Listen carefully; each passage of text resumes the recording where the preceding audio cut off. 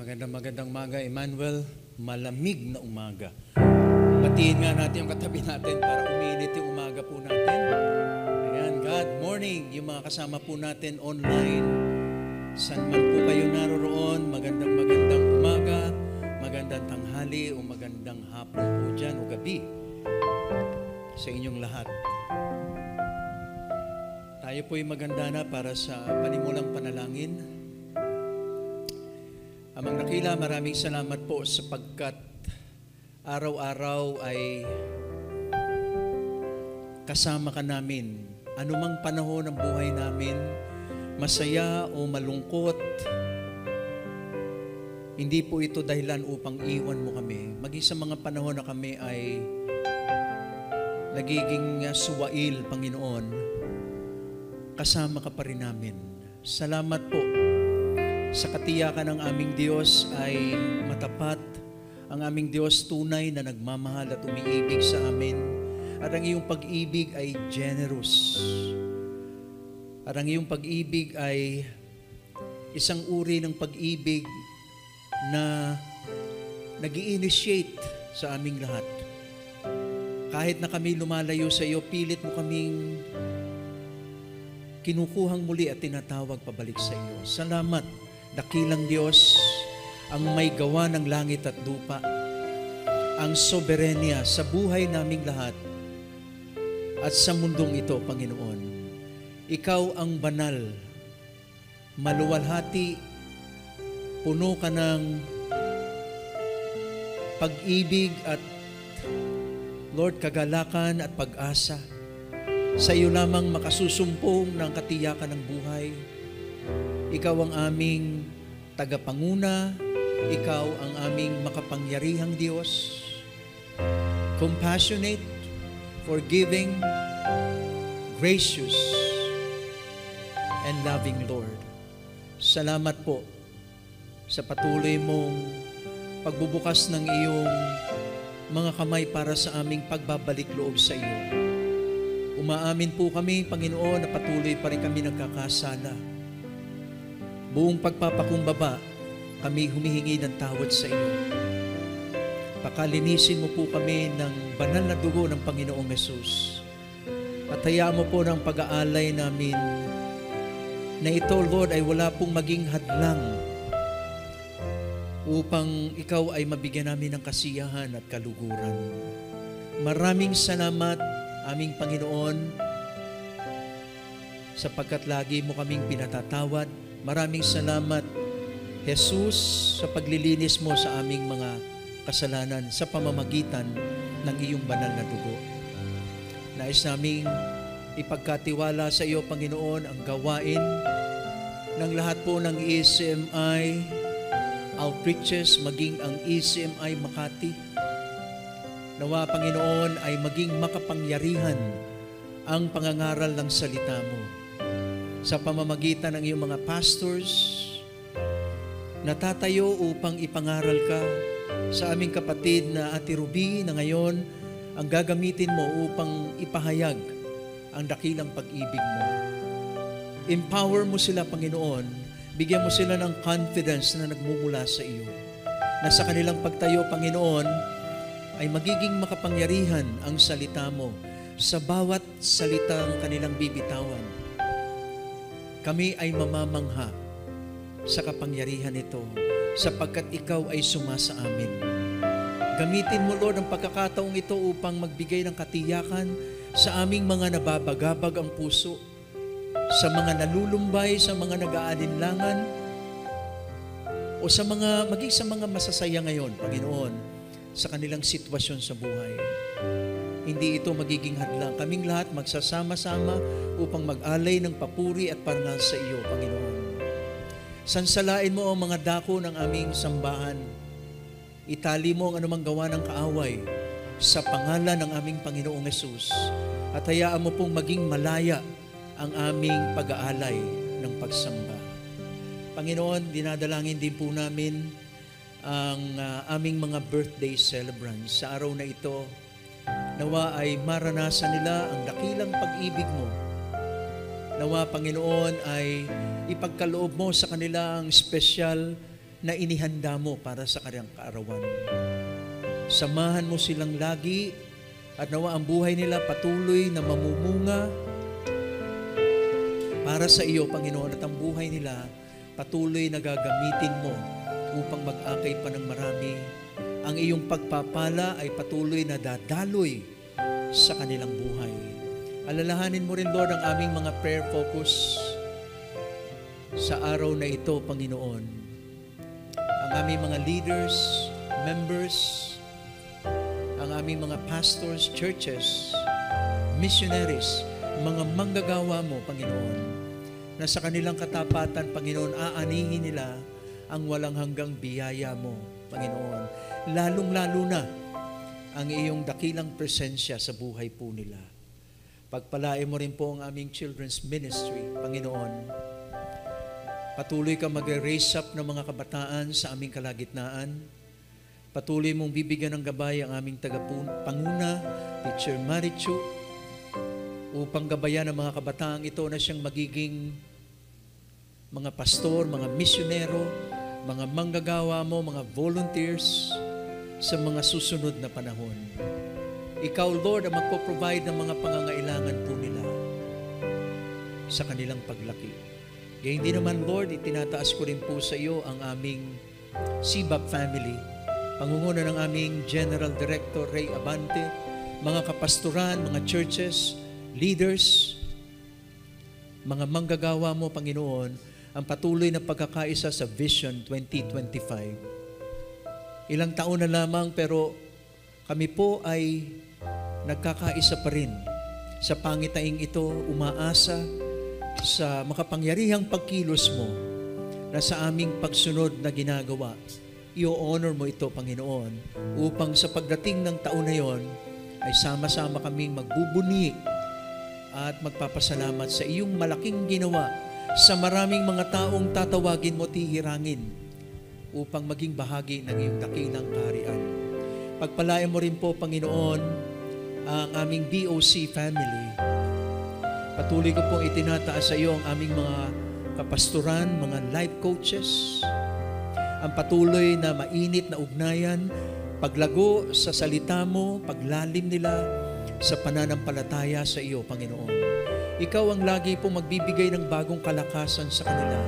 Sa araw-araw na sakripisyo, pagod, pagtitiis na kanilang inaalay to serve and protect.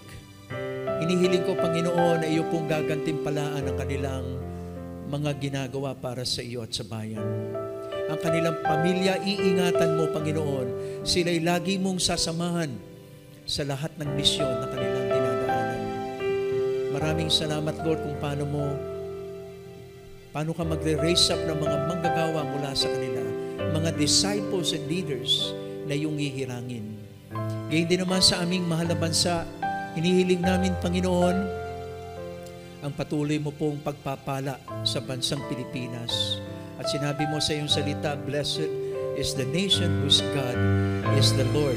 Isang dakilang pangako na aming pinangahawakan sapagkat kaming mga anak mong naririto sa bansang ito, tunay na umiibig, bukas sa puso ang aming pagnanais na ikaw ay masunod, Panginoon. Alalahanin mo ang aming Pangulo at ang kanyang pamahalaan, bigyan mo siya ng wisdom, Lord, ng knowledge kung paano po i-go about ang mga suliranin ng bayan. At sa iyo po kami humingi ng solusyon, Panginoon, sa lahat po ng ito.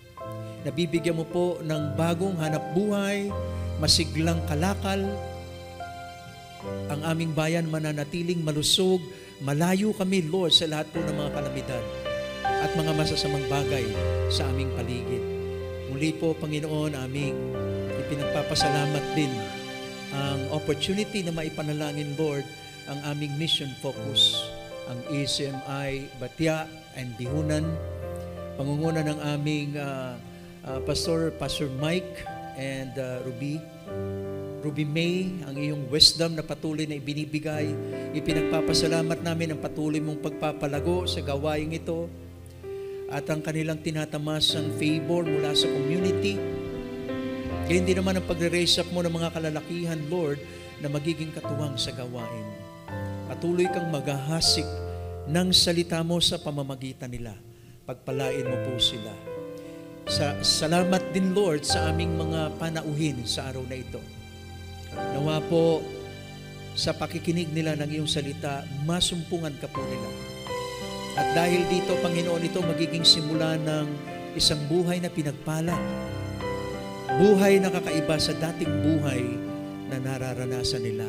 Salamat, Panginoon. Kami po'y puno ng kagalakan sapagkat alam namin sa panahon na itinakda mo, tatanggapin namin kasagutan sa aming mga panalangin. Pinupuri ka namin, Lord, pinasasalamatan. Ikaw nawa ang siyang maluwalhati sa aming kalagitnaan. Ito po ang aming samo at dalangin sa matamis na pangalan ng aming Panginoong Yesus. Lahat po tayo magsabi ng Amen and Amen. God bless you. Amen. Palakpakan po natin ang ating Panginoon. Okay po, let's all stand as we give our God praise and worship.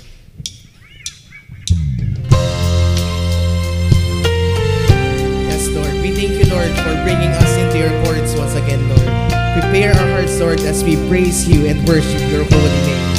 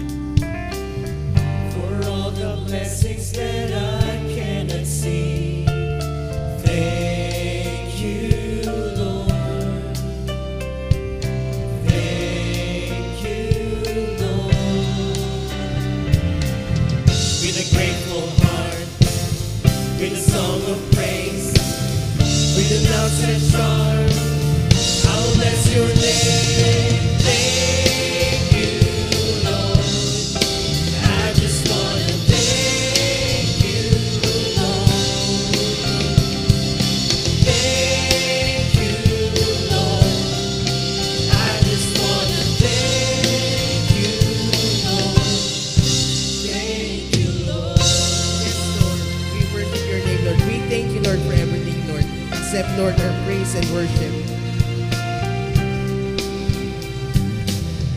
For all you've done in my life, you took my darkness and gave me your light. Thank you,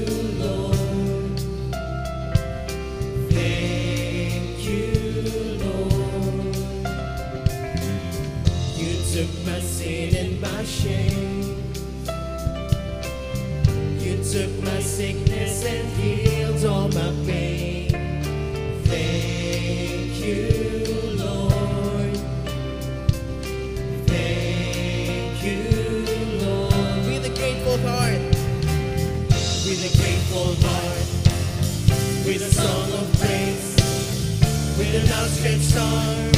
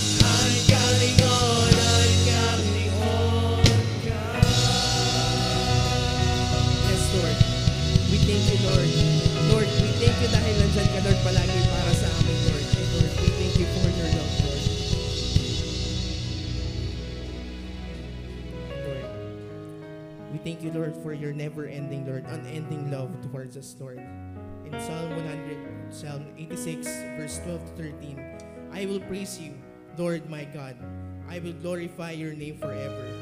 For great is your love toward me. You have delivered me from the depths, from the realm of the dead. So, Lord, because of your great love, Lord, we can love you, Lord, and we can love you back, Lord. So, Lord, accept, Lord, our praise, Lord.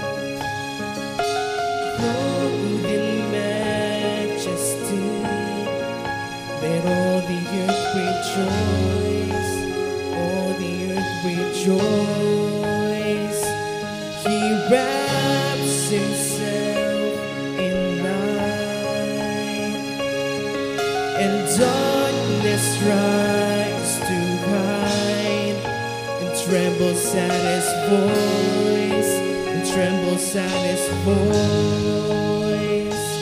How great is our God!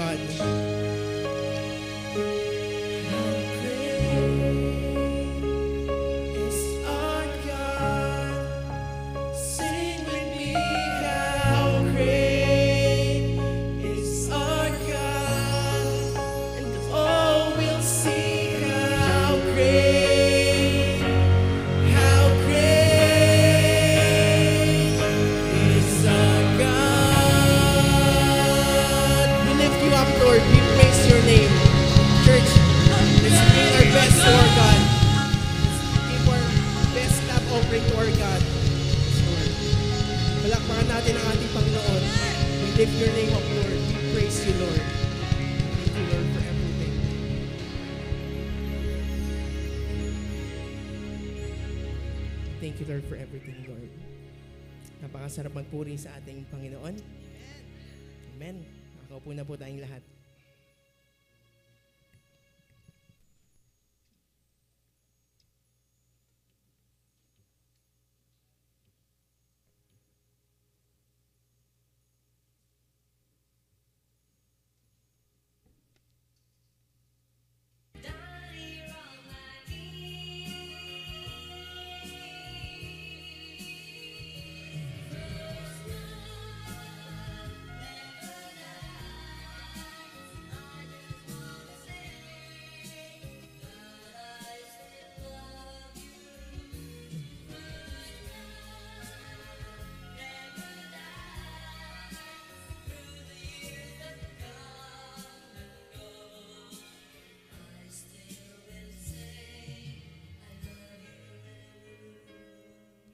Good morning po sa ating lahat.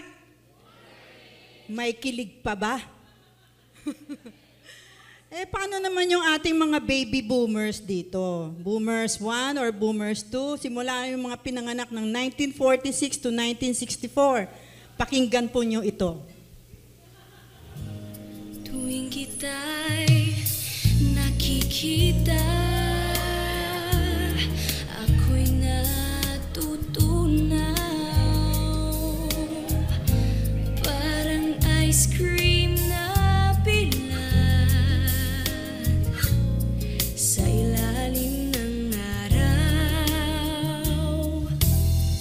Okay na po. Ayan. So, naaalala nyo po ba mga boomers kung ano po ang title ng song na to? Tama, minadinig ako. Pers Love. Pers Love. Tagalog po ang spelling. Ayan, okay. So, nakatutuwa lang pong alalahanin yung mga nakaraan nating nakakakilig. So, nak- nakikilig din po kami ha, hindi lang kayo. Ayan. So, Happy Love Month po sa ating lahat. At ah, binabati ko po ang lahat ng mga nandito sa sanctuary, pati na rin po ang lahat ng mga nanonood at nakikinig online sa ating mga outreaches here and abroad at sa mga kaibigan din na nanonood at nakikinig. Excited po ba tayo? At handa na po ba tayo mag-worship kay Lord ngayong umaga na to? Ayan, so ayan, masarap na ano, na mga sagot, ano? I am so honored for the opportunity to deliver God's message today on the series theme First Love Never Dies. Eh ngayon po ba, ano po ba mga kinakikiligan pa natin? Mga bulaklak, mga chocolates na ating pong na-receive sa ating mga mahal sa buhay nung nakaraang February 14. I'm sure marami po kayong mga na-receive. Pero ako wala. Joke lang po. Yan.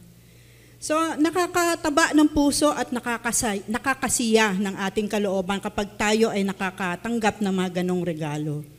Pero mga kapatid, ang tanong ko, ano ba yung the ultimate love na talagang it, it transcends human understanding? Kanina nga, pinag-usapan sa e-connect, yung lawak, yung taas, at yung lapad ng pag-ibig.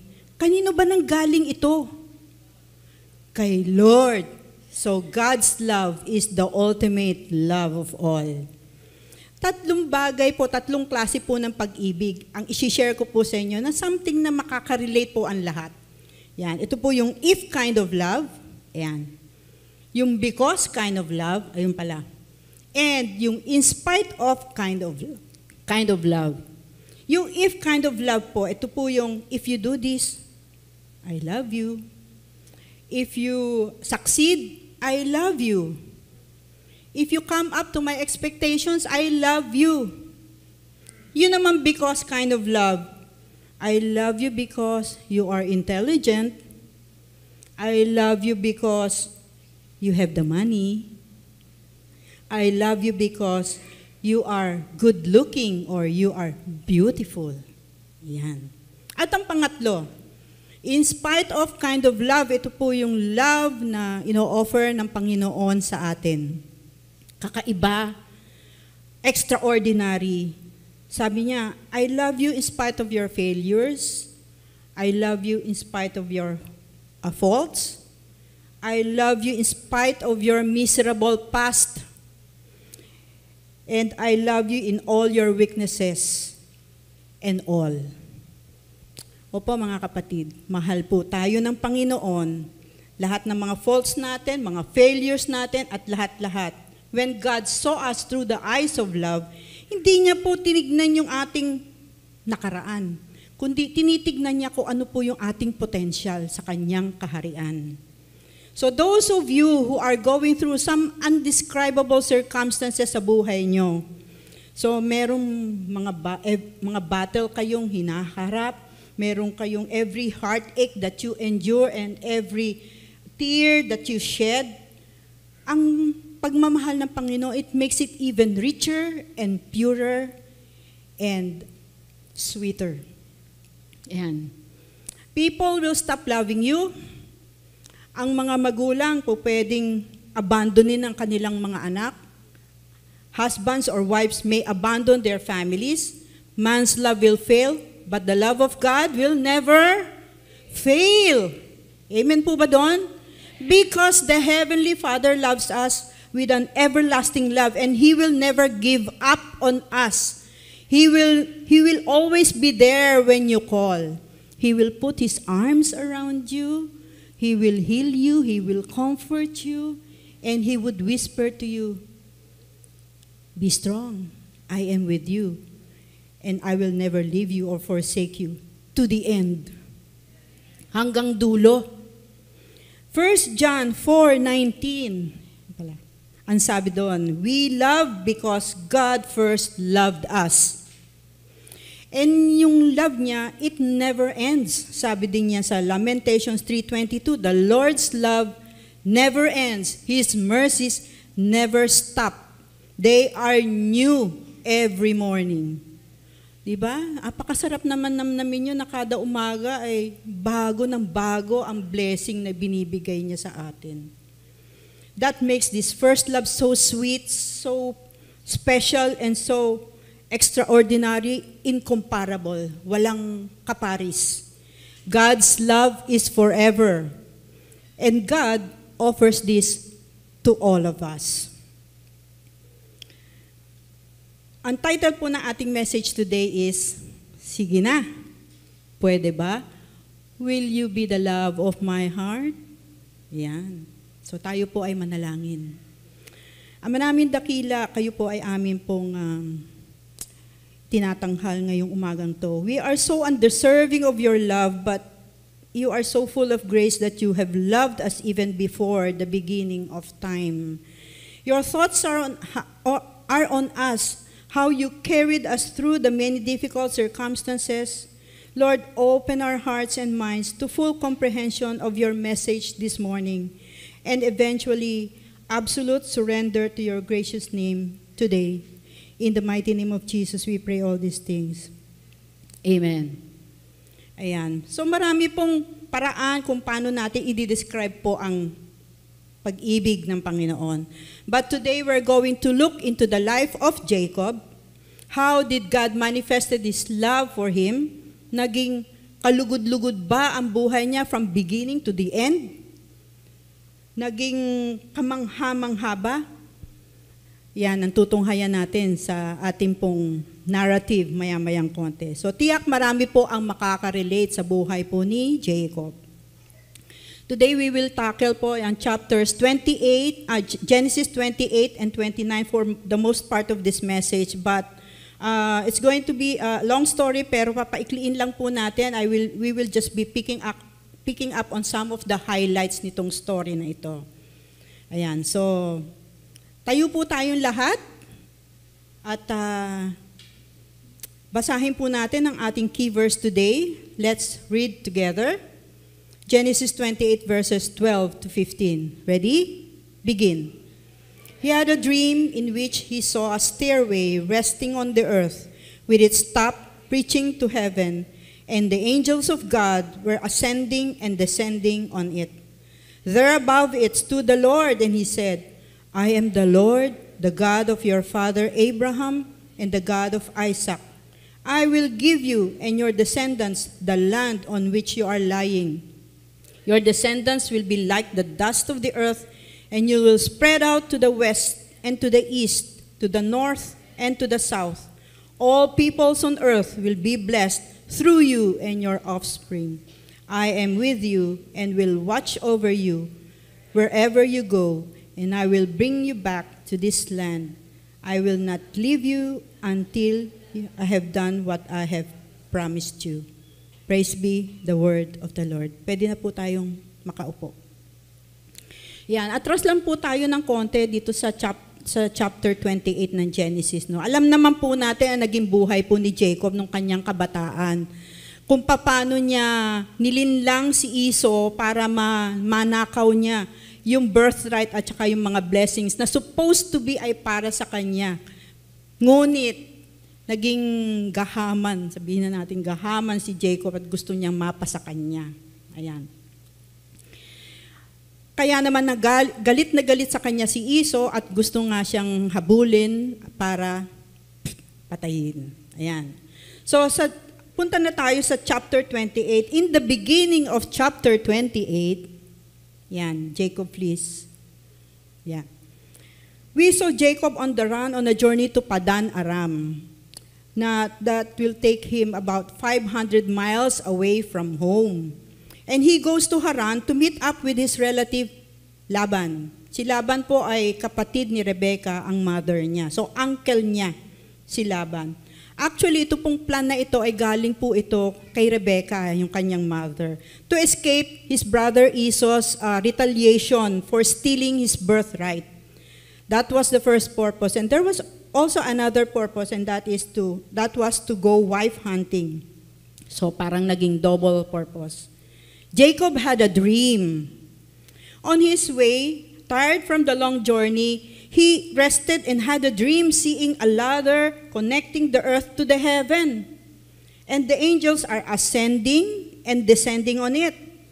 At dito rin, kinonfirm ng Panginoon yung blessings niyang ipinapasa from Abraham to Isaac and then to him, to Jacob. Yung promise ng provision, promise of presence, the promise of protection. We will touch on that later on. Jacob now knew God was closer than he ever thought of before, and there was real access and interaction between heaven and earth. Kasi akala, na, akala niya noon at pagkakakilala niya sa Panginoon eh, he is, he, ando doon lang siya sa heaven and he just shuts himself up at wala na siyang pakialam dito sa earth. Yung pala, nalaman niya from the vision, yung symbolic, uh, yung symbol po ng kanyang dream na yon ay nangangahulugan na meron pong ano, uh, meron pong concern ng ating Panginoon bitu- sa, sa dito sa earth. Yan. Kaya nga gumawa siya ng ladder connecting the earth to the heaven. Fast forward na po tayo. Punta na tayo sa chapter 29. That Jacob, on chapter 29, Jacob met Rachel, the beautiful second daughter of Laban. Laban was his uncle, kanina nga nabanggit ko, no? And by this time, Jacob was already humbled after his treachery and desperate family ties and a place to call home. And he fell madly in love with Rachel. So she was his first love. Meron siyang first love. Ayan.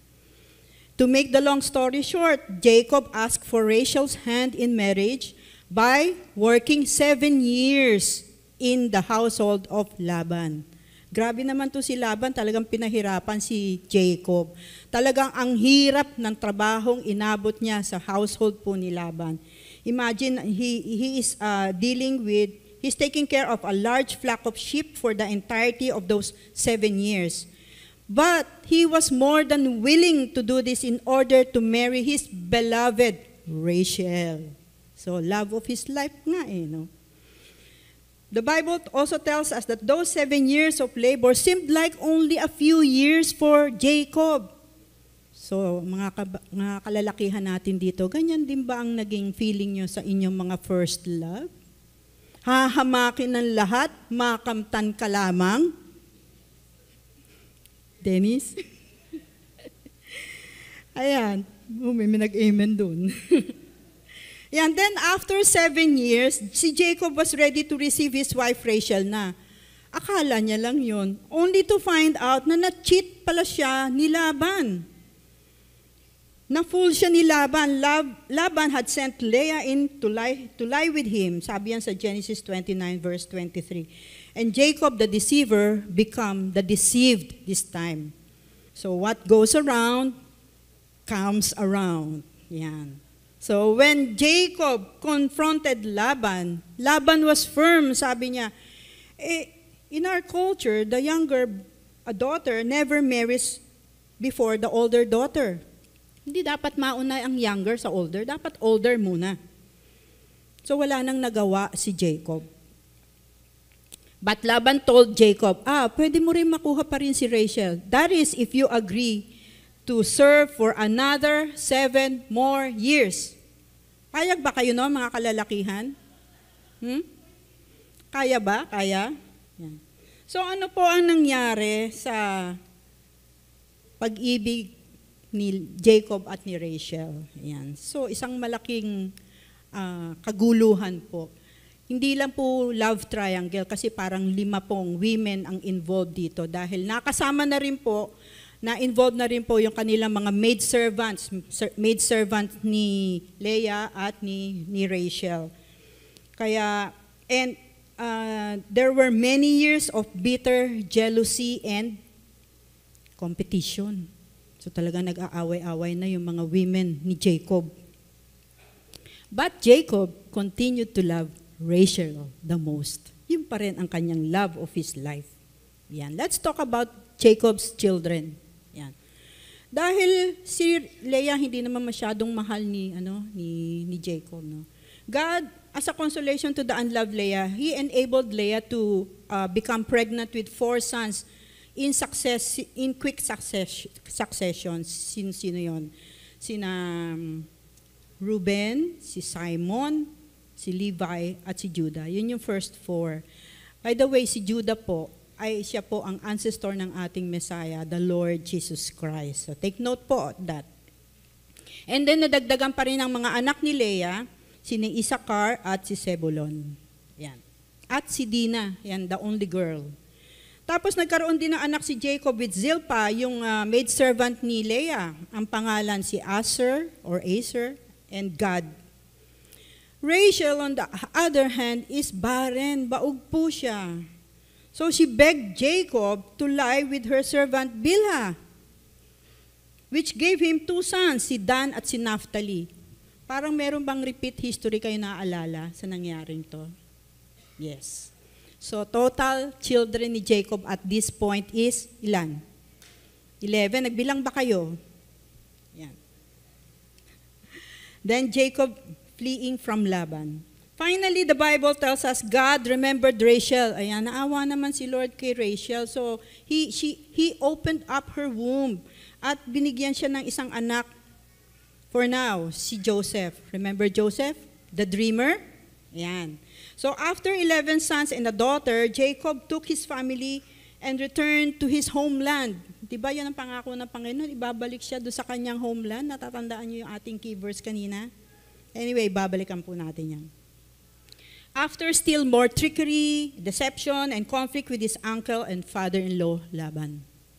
Ultimately, si Jacob po made peace with Iso. Ayan. So nakikipagbati na siya kay Iso at talagang gustong-gusto naman niya dahil na-humble na siya doon sa lahat ng mga nangyari sa buhay niya. So, he wrestled with God one night and endured and God renamed him Israel because as God said sa Genesis 32:28, you have struggled with God and with humans and have overcome. Yan. And then on the way to resettle with his father Isaac sa Canaan, Rachel died na giving birth to the 12th son ni Jacob. At yun ay si Benjamin, yung pinakabunso. Kaya all in all, ilan na po ang anak ni Jacob at this point? 12. And those 12 sons went on to become the 12 tribes of Israel, the chosen people of God. Yan. So, hindi pa po tayo nagpa-first point. Intro lang po yon. So, apat na bagay po. oras na. Apat na bagay po ang nakita kong gusto ko pong i-share sa inyo about God's love na ino-offer niya sa atin through the life of Jacob. Number one, God's love is gracious. Ano ba ibig sabihin ng grace? Tinanong din yan sa akin nung early part ng aking conversion as a Christian. Grace is the free and undeserved assistance God offers us so that we might respond to His call to share in His divine life and attain eternal life. Yan po ang mahabang ah, definition po ng grace. Simply put, ito po yun. God's gift of love by giving favor to the unworthy. Pagbibigay ng Panginoon ng pabor or unmerited approval sa mga hindi karapat-dapat o sa mga hindi deserving, sa mga makasalanang kaparis ko at kaparis po ninyo. In, in spite of Jacob being a deceiver, a liar, a cheater, manipulative, opportunist, lahat na itawag natin sa kanya, God still chose he, to bless him. God had planned it even prior to their ability to commit a sinful act. Sinabi yan sa Genesis 25:23. Plano na ng Panginoon, and the older will serve the younger. Yan. Ito ay it is this is an early demonstration of the principle that his favor, ang favor ng Panginoon is not based on our works. It is his divine right dispense special grace kung saan niya nakikitang dapat. Exodus 33:19, ang sabi niya ron, I will have mercy on whom I will have mercy, and I will have compassion on whom I will have compassion. So Jacob found God's love by grace. Napakabuti ng Panginoon. Tanungin ko po kayo, have you surrendered your heart to the Lord Jesus as your Lord and Savior? If you did, Thank you, Lord, for the gift of loving grace. Grace po yun. Dahil kung sa atin lang hindi natin gugustuhin mag-surrender tayo kay Lord. No? Gusto natin yung lahat lang ng mga magagaan, lahat ng mga kakasaya, lahat ng mga mabubuti, lahat ng komportable, yun lang ang mga gusto natin. Sinful kasi tayo. Are you victors in saying no to ungodliness and worldly passions? If yes, then praise God again for enabling us to say yes to, to sensible, righteous, and godly living. Grace na naman po yun. When we are able to say no to ungodliness and worldly passions. That's number one. Not only is God's love gracious, second point is God's love extends to a thousand generation.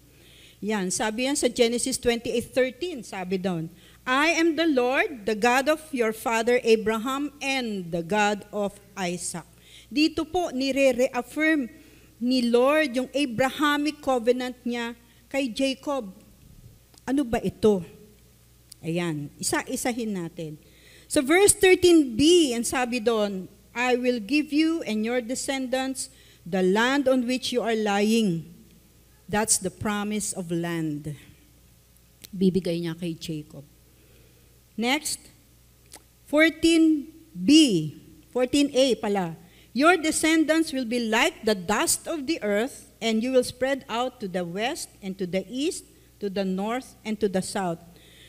That, that means that God will multiply them as numerous as the stars in the sky and as many as the dust on the earth. Yan. So, multiplication. Next is verse 14b, and sabi diyan, All peoples on earth will be blessed through you and your offspring. Yun po ay promise of blessings to all his descendants. Next, 14, 15a. I am with you and will watch over you wherever you go, and I will bring you and back. I will bring you back to his land. Yun po ay promise of protection. And last, sa 15b, sabi niya, I will not leave you until I have done what I have promised you. Promise of presence. Yan.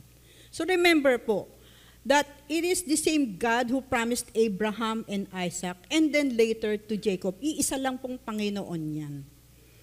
Ang Panginoon po natin, ang blessings at promises po ng Panginoon natin to Abraham, Isaac, and Jacob, it also extends to us.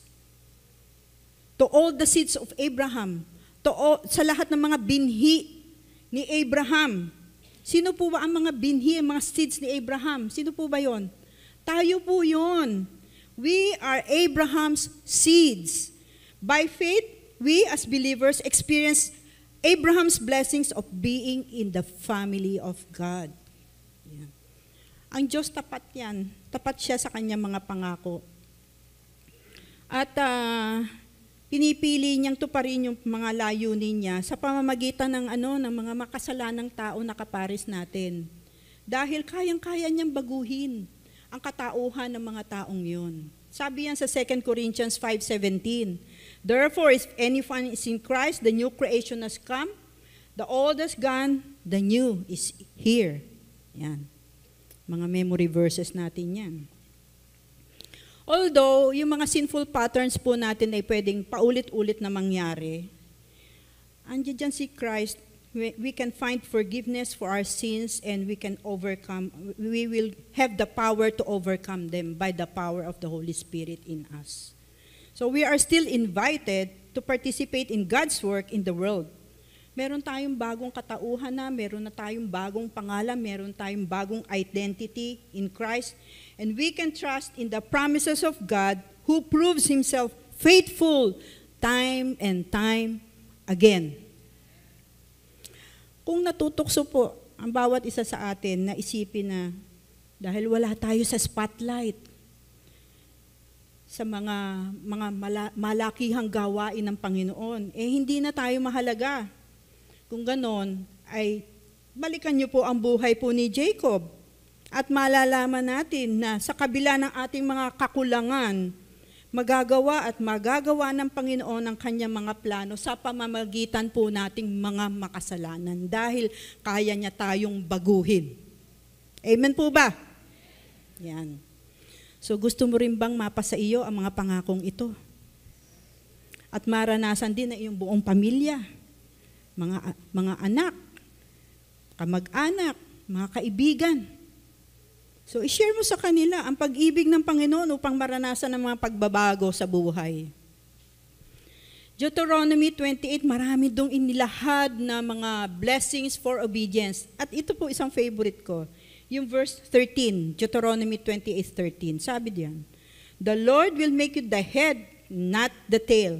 If you pay attention to the commands of the Lord your God that I will give you this day and carefully follow them, you will always be on top and never be at the bottom. So it speaks of power, authority, and uh, leadership. Meaning, when we obey God, we will be blessed and prosperous. Ikaw ang leader, ikaw ang mangunguna, you will not be under the mercy of anyone. Ikaw ang susundin dahil katiwa-tiwala ang iyong mga desisyon. Ang mga payo mo ay full of God's wisdom. Kaya ikaw ay isang malaking pagpapala sa mga sa nakararami, even sa church. Yan. Pagpapalain din po tayo financially. Yan po ang isa pong magandang ding balita. Hindi po ikaw ang manghihiram, ikaw po ang magpapahiram. Pero dapat walang interest. okay po ba yon? God will lavishly give those blessings to us because He loves us. Mahal na mahal niya tayo. Sabihin mo nga sa katabi mo, God's promises are yours too because He loves you. Salamat po mga kapatid. Tungo na po tayo sa third point. God's love sows and reaps goodness. Yan. Wag na wag tayo magkakaroon po ng maling akala, maling paniniwala na magagawa nating maniobrahin o dayain yung batas ng law. Yung batas ng law. Yung batas ng cause and effect. Yan. Pag merong cause, merong epekto yan. Merong pinanggalingan, merong mangyayari. Galatians 6.7 sabi doon, Do not be deceived, God is not mocked. For what, whatever a man sows, that he will also reap. Yan. This is applicable to everyone, and Jacob is no exception. Maraming pagkakataon nakita natin sa buhay po ni Jacob na yung mga pagkilos niya ay hindi nagbunga nagbunga ito humantong sa mapapait na ano na mga bunga no kaya maging lesson po ito nawa din sa atin ano ba ang tinuturo ng Panginoon tungkol sa pag-ibig Yon ay magtanim ng kabutihan sa lahat ng oras at sa lahat ng tao. We choose what kind of seed we want to eventually reap. Whether it's, it's the seed in conformity with faith and life in Christ or in conformity with the flesh and corruption. Mamili po tayo. Ano gusto nating i-reap? Huwag po nating gayahin si Jacob dun sa parting yun. Sow the gospel into the world. At yan ang ating great commission. Iniata sa atin ng Panginoon, sowing is now. Now na, mga kapatid. Ngayon na ang pagtatanim. Yan ang the greatest gift of love you can give someone so that we harvest many converted hearts for Christ.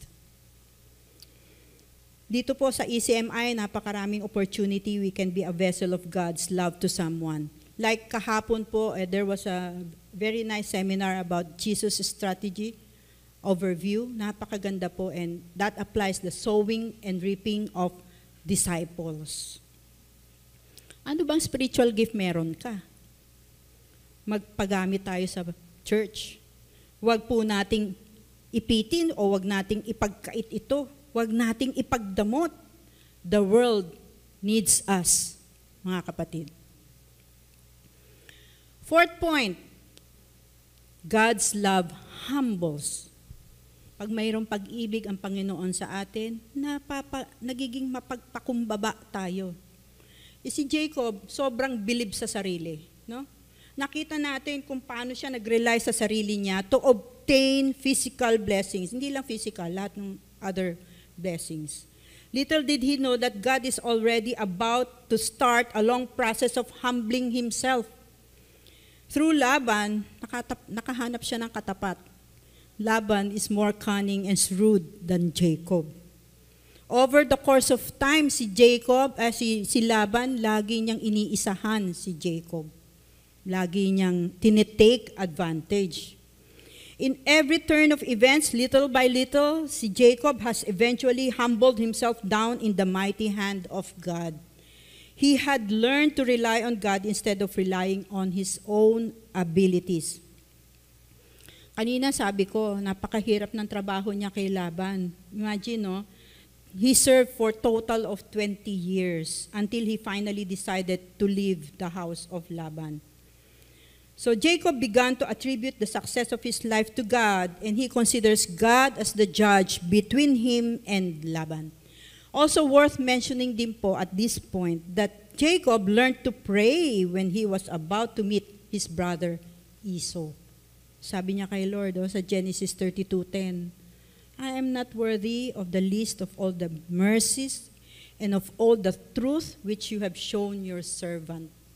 So natuto siya magpakumbaba sa ating Panginoon.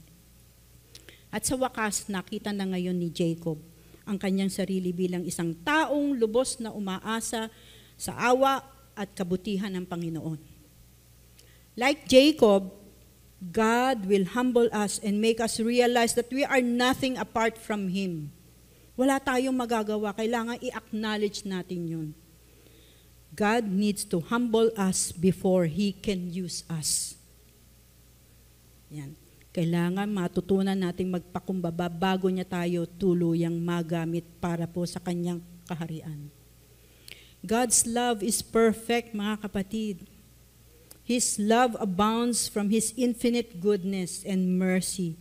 God's love is steadfast and unchanging. Hindi po nagbabago, matatag. Yan. Sabihin mo sa seatmate mo, God loves me. God chose me. God forgave me. At itong pag-ibig na ito ng Panginoon, it begets love to others. Yan. Ibibigay natin, papasa po natin sa ating kapwa.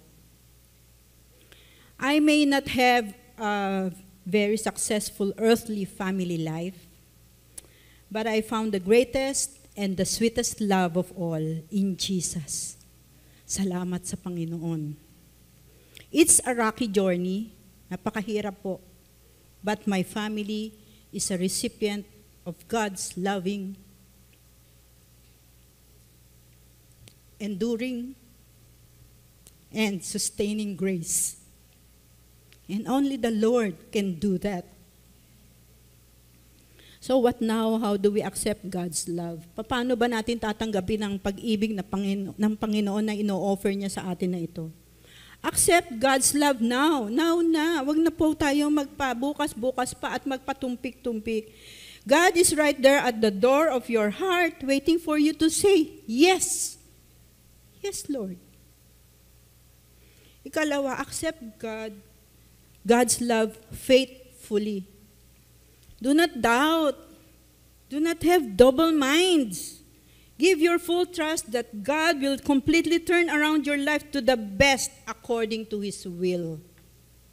Babaguhin ng Panginoon ang buhay natin. Tanggapin lang natin ang pag-ibig niya. And last, accept God's love in full submission. Pagkatiwala mo ng buo at isurrender mo lahat sa Panginoon ang lahat-lahat sa buhay mo.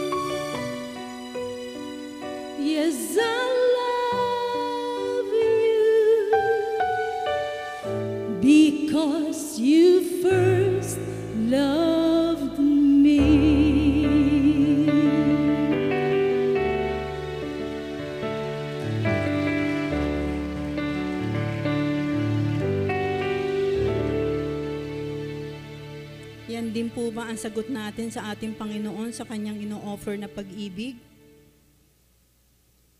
Yes, Jesus, I love you.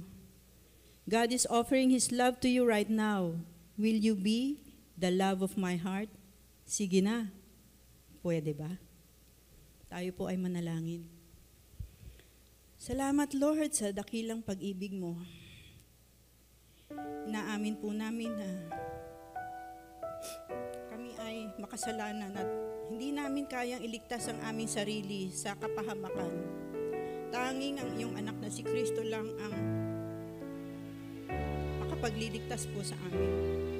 Binubuksan po namin ang aming puso upang makapasok ang dakilang Diyos na manunubos at matanggap namin ang kaligtasan at buhay na walang hanggan. Ikaw na, Panginoon, ang manguna sa buhay namin at turuan niyo po kami na makapamuhay ayon po sa inyong kalooban. At para naman po sa mga meron ng relasyon sa Panginoon, sa mga pagkakataong nananamlay po ang aming pananampalataya, Lord, buhayin mong muli. Pag-initin ang nahihimlay naming puso, pag-alabin at pag-apuyin upang makabalik sa una naming pag-ibig. Thank you, Jesus, for reminding us once again of your great love for us. In your name we pray.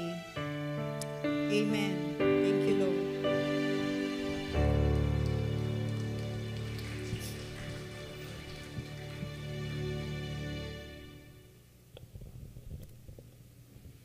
Amen. So, sabi po sa 2 Corinthians 9 verse 7, Each of you should give what you have decided in your heart to give, not reluctantly or under compulsion, for God loves a cheerful giver. Church, let's give back to God with cheerful hearts and grateful hearts.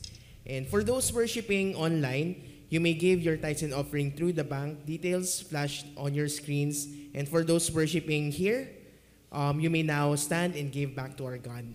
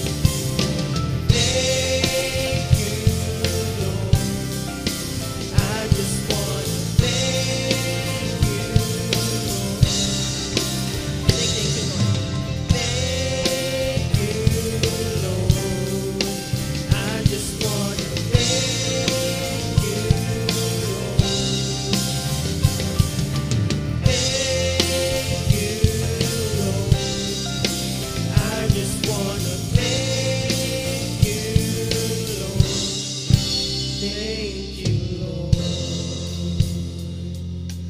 Let's pray. Lord, we thank you, Lord, for giving us, Lord, um, our jobs, Lord, for giving us, Lord, the means to give back to you, Lord. Lord, we thank you, Lord, for giving us um, grateful hearts, Lord, na nanggagaling lang din, Lord, sa blessings, Lord, na binibigay ni Lord. So, Lord, accept our tithes and offering, Lord. In Jesus' name, pray. Amen. Amen. Pwede na po tayo maupo. Purihin ang Panginoon. Nais po nating ibigay ang ating patuloy na pag-anyaya sa ating ikalawang bahagi ng ating Jesus Strategy Overview Seminar sa darating pong linggo. Yan, the same time, alas 9 ng umaga. So yung pong mga umaten nung uh, part 1 po natin, ay inaasahan po kayong umaten muli para sa kabuuan ng ating pong uh, Jesus Strategy Seminar. And uh, of course, sa darating na linggo, ay gaganapin po yung ating uh, ministry fair. And so, patuloy po tayo nag-aanyaya sa ating mga kapatiran para makibahagi po sa paglilingkod sa Panginoon. So, tinatawagan po natin yung mga magpo-promote po ngayon. Punta na po kayo sa harapan.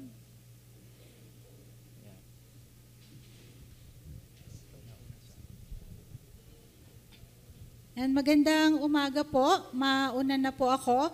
So on behalf po ng uh, Young Couples Ministry, ay inaanyayahan po namin ang mga uh, pinagpalang mga pinagbuklod ng Panginoon ng mga married couples to join our Young Couples Ministry. So actually po meron po tayong isang major uh, assignment for the year. So may isang evangelistic event po na atin pong i-organize. So sa April po yun. Kaya kailangan po namin ng volunteers na tutulong po para po dito sa mga evangelistic event na ito. At kung kayo din po ay e-leader na, at kayo po ay married, pwede rin po kayong mag-volunteer to become an e-leader po ng isang young couples group. Ayan. So meron as of now meron po kaming Saturday at Sunday na group. Pero marami pa pong ah, mga young couples na gustong ah, i-reach out ang Panginoon. So we would love to partner with you sa pagsisimula po or pag-open ng mga panibagong mga small groups. Yun lamang po at marami pong salamat. Isang mapagpalang umaga po sa ating lahat. Ako po muli si Sister Mila Gamet ng Members Care and Hospitality Ministry. At ako ngayon ay nasa inyong harapan. Ako in, in nananawagan sa inyong lahat mga kapatid kung may mabubuting kalooban. Tara po, ako inyong samahan sa pagdalaw sa ating mga kapatiran o sa kanilang mga mahal sa buhay na may pinagdadaanan. Silang may kalungkutan, mabigat ang kalooban, may dinaramdam, o silang mahal nila sa buhay ay nawalan. Atin silang damayan. Sila'y ating dalawin at ipanalangin upang kabigatan nila'y ating pagaanin. Alalahanin din natin mga kapatid na nangangailangan, ano man ang meron tayo, pwede po natin silang hatian. Masarap sa pakiramdam kung tayo nagbibigayan at nagtutulungan. Hatid nito sa Panginoon ay kaluwalhatian. Maraming salamat po. Maasap po kami or ako po sa Members Care Ministry sa darating pong linggo. Mag-sign up po tayo. At um, ganun din po, nag-iimbita na rin po ako ngayon para sa prayer ministry ah, sa pangunguna po ni Pastor Tito Antonio. Mga kapatid, pag pagtawag sa ating Panginoong Diyos, dapat po nating ugaliin. Saan man o kahit kailan, pwede tayong manalangin. Paraan upang maidulog natin sa kanyang harapan ang ating mga mithiin. Ayon sa kanyang kalooban, siya nating dapat hilingin at naisin. Wala pong pasubali, katugunan niya ay ating kakamtin. Eto po si Ate Elena. Kaya nga po mga kapatid, halina po sa prayer ministry. Napakaganda pong makaniig natin ng Panginoon sa bawat araw ng buhay natin, sa ating pagkagising, siya kagad ang ating kausapin. At wag kung sino-sinong ating kausapin at ang ating utak ay napupuno na ng kung ano-ano. Kailangan ang Diyos mo na ang ating kausapin at tayo ay parating manalangin. Hindi lang linggo, araw-araw. Makisama tayo sa lahat ng prayer opportunities ng church, mga kapatid. At ang blessing ay dadaloy.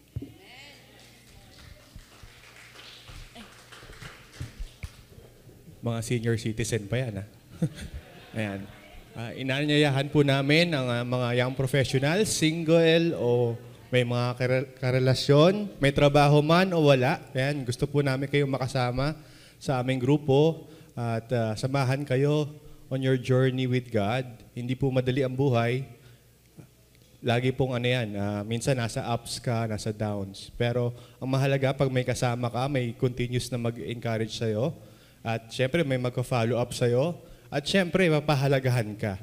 We want to connect with you. We want to have a relationship with you because God too wants to have a relationship with you. Thank you. See you sa ating mga small groups every Sunday, Friday, Saturday. And see you po. Thank you. Sa worship ministry po naman, ako po si Pastor Bong, at ang sabi po sa unang Pedro 4.Gs, bilang mabubuting katiwala ng iba't ibang kaloob ng Diyos, gamitin ninyo sa kapakinabangan ng lahat ang kakayahang tinanggap ng bawat isa sa inyo. Sa worship ministry po, nangangailangan po kami ng mga sasama sa grupong ito. But here's our, here are the qualifications. Kailangan po, ah, up- limang M po, dapat meron po kayong limang M.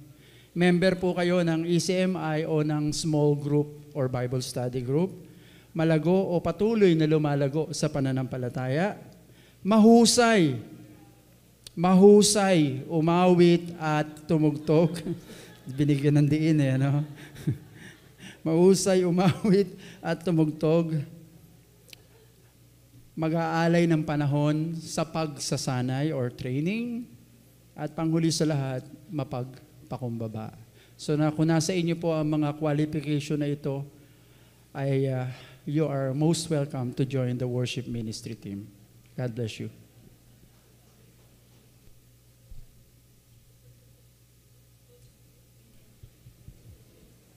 Maraming salamat, kapatid. Makinig ka, kapatid. Maraming salamat, kapatid, sa iyong inihatid. Tunay ngang apo ka ni Apo Kiko. okay.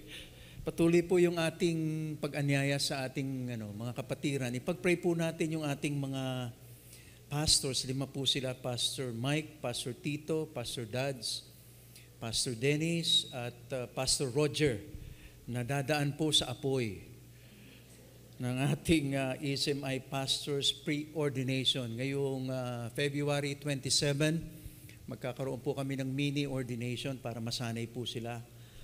And then on March 15, yung pinaka pre-ordination.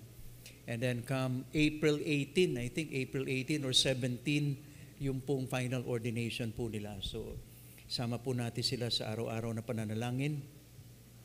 And of course, uh, March 25, ang bilis po ng panahon, itakda na po natin yung mga e-leaders po natin, ipatala na po natin yung ating mga uh, kapatid na nais po nating mag-undergo ng Encounter Weekend. Susunod na sermon, ito na po yung pinakahuli, May Forever ba? Sasagutin po yan sa susunod na linggo. Tayo po ay uh, tumayo na. Pagkatapos po ng panalangin ito, makikita po ninyo sa screen ang ating mga reflection questions for the week. Panginoon, salamat po sapagkat muling nasariwa sa puso namin ang pag-ibig sa iyo. At kami ay busog na busog, Panginoong, malaman na hindi nagmamaliw ang pag-ibig mo sa aming lahat. Salamat po sapagkat bagamat hindi kami karapat-dapat, ito ay ipinagkakaloob mo sa amin. Purihin ang iyong pangalan, gamitin mo kami upang ang pag-ibig na ito ay patuloy pong maibahagi sa marami. The Lord bless you and keep you. The Lord make His face shine upon you and be gracious to you. The Lord turn His face toward you and give you peace. Amen and amen.